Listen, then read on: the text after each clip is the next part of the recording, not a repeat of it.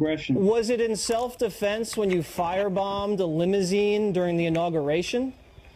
Yes, right wing Trump supporters, Klan Okay. members fall under that category Okay, so how do you know they're racist if they're Trump supporters?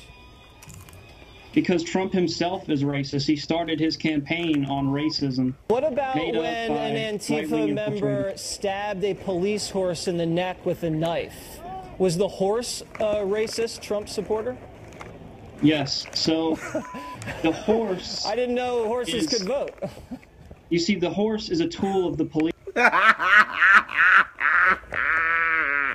you need to go to bed talking about the horse is racist.